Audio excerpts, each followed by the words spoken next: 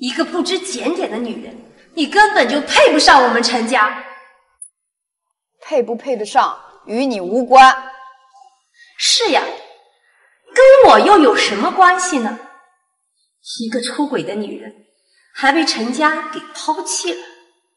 也是，对你来说没有关系，因为你呀有男人包养，还有人送给你这整栋的大厦。我再说一遍，我没有出轨。还有，这栋大厦是我的。哦呦呦，看看呀，还真是义愤填膺啊！想让我相信你可以啊，你叫我一声奶奶呀，我就相信你。你，我叫你一声奶奶，你敢答应吗？那你叫一声试试。奶奶，哎，乖孙女儿，你你竟然敢打我！刘管家，我要让安琪公司破产。好，冯科长。喂，谢谢啊，帮我查一个叫安琪的女人，我们要让她的公司破产。好，真是笑死我！就凭你们两个，想让我的公司破产，是不是真的？待会儿你就知道了。就你们两个吗？你们两个也没好好掂量掂量自个儿吧？小姐，老夫人等您这么多年都没有让您叫一声奶奶，她会为这声奶奶付出代价的。你们两个人还在这嘀咕什么呀？识相的话，赶快从这儿给我滚出去！我说了，这栋大厦是我的，该滚的人是你。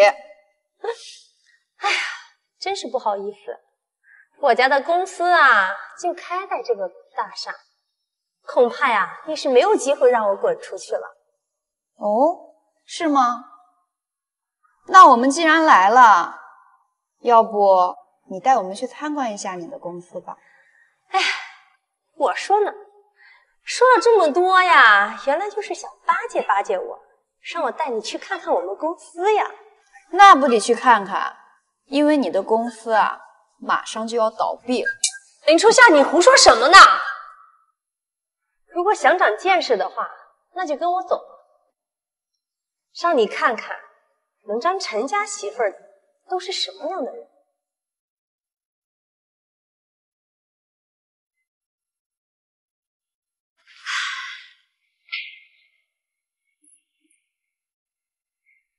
这就是我的办公室，怎么样，大吧？的确是挺大的，但是吧，这么好的办公室，我怕你以后都做不了。林初夏，你是不是有毛病啊？从一开始到现在，你一直都在赌咒我的公司，你到底是什么意思？我没什么意思，我就是想让你为那一声奶奶付出点代价。你给我装什么呢？你以为我会害怕吗？就你这个穷鬼，能把我怎么样？安琪，你欺负我，羞辱我，还拆散我和陈峰，我会让你付出代价的。怎么样？我呀，就看不起你穷，还没本事，你能把我怎么样？还让我付出代价？你给我装什么呀？你这副嘴脸真让人恶心！哼，你也不看看你自己是什么身份，还敢这样跟我说话？我身份怎么了？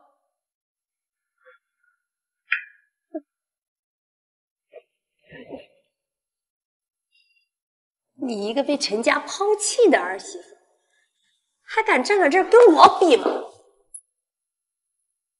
安琪，妈，林初夏，你怎么在这儿？妈，你可算来了！你不知道，你的前儿媳林初夏呀，竟然跑到我们公司来撒野。林初夏，你也不看看你什么身份，还非得跑到俺七公司里来丢人现眼吗？妈，不对，阿姨，您永远都是这样。有钱的是你媳妇儿，没钱的就是给你丢人。怎么，你穷你还赖我呀？你跟安琪比起来，那真是天差地别呀！哼，就是呀，我呀可是公司的 CEO，就你。给我提鞋都不配！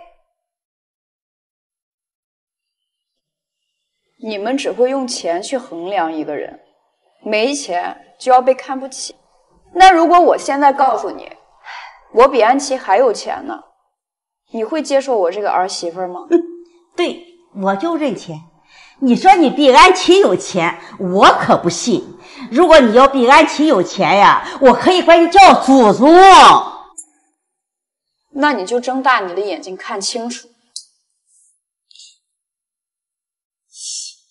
哎呦，你还有银行卡了？这卡里有多点钱呢？妈，就咱家陈峰一天给他那二百块钱，他这卡里能有多少钱呀？就是，这张卡里面有一千个亿。一千个亿！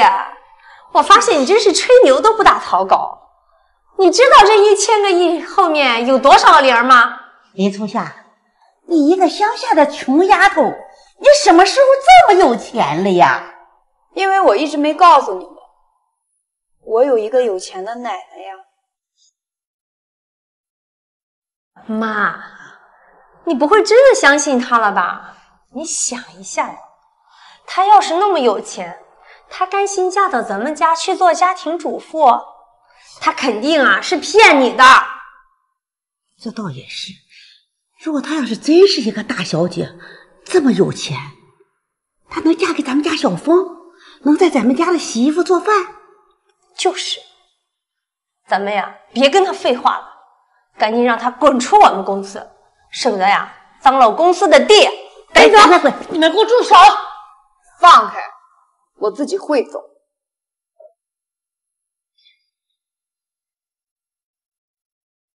小姐，你打算怎么处理他们？他们会来求我的。董事长，不好了，我们公司破产了，股东也被挖走了。什么？你说什么？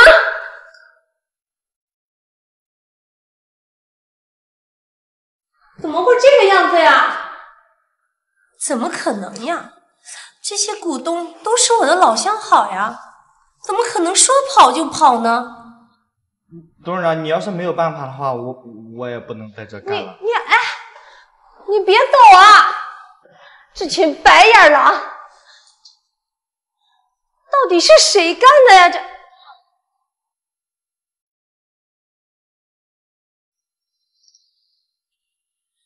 初夏，你去哪了？快跟我回家。我都知道了。其实，你要是累了，喜欢上了别人，你可以跟我说，我同意离婚。你知道什么了呀？你跟别的女人搂搂抱抱被拍到了，你还要骗我吗？你胡说什么呢？我什么时候跟别的女人搂搂抱抱了？嫂子都给我看照片了。哦，那天啊。那是一个顾客洒了我一身酒，帮我擦来着。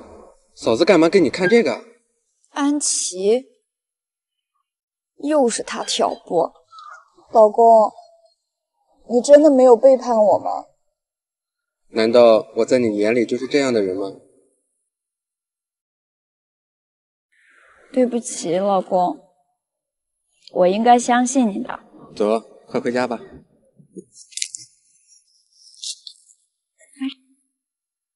妈，